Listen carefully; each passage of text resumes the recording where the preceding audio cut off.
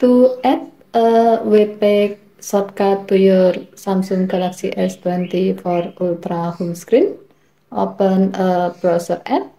As the example, we will do it with two different browser apps, Samsung Internet apps and Chrome browser app.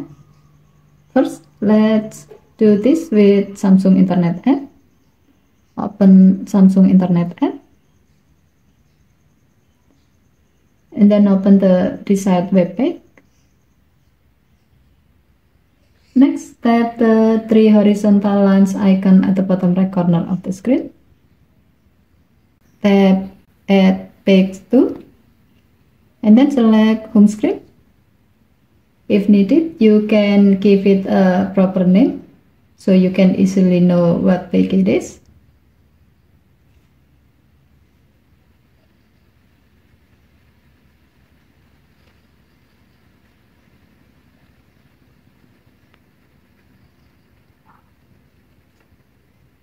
Tap add and then tap add again to add the shortcut of the web page to an empty area on your home screen. Next, go to your home screen. You can see that the shortcut of the web page has been added to your home screen.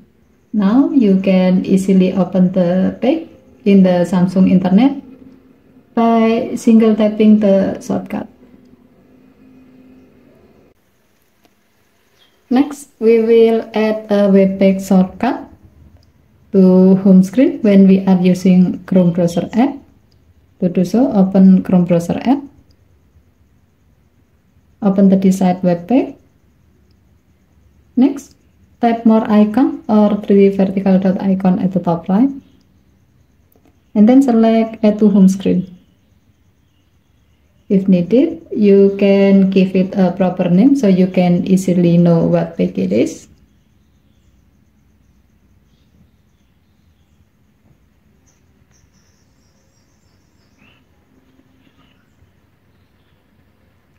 Tap add.